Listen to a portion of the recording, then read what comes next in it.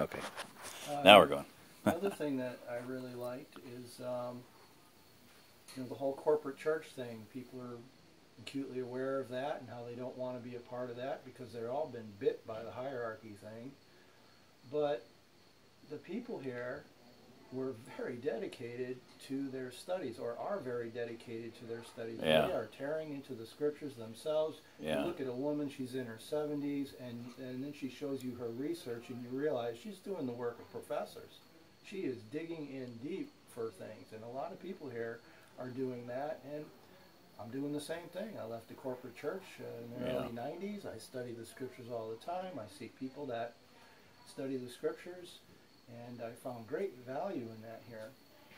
Another thing that I really liked is uh, because of the lordship thing, even though people had, in some cases, very different ideas about things, there was just this level of peace and calm.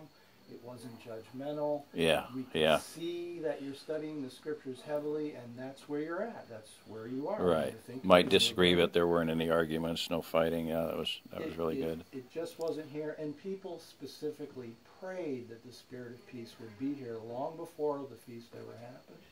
hmm Another thing that I find important is um, I think uh, the feasts should be covert tabernacles. I don't want to attend a feast that's advertised on the internet. Hey, we don't know who you are. Come on over and you know, and see what we're doing. No, it really needs to be out of the cities. Um, I don't think we should rent a hotel or some hotel room somewhere and let all the money go into the corporate world, whereas we can make ties and improve the place where we are. Yeah. So I, I like the fact that it's private and word of mouth, and again, it's the spirit leading.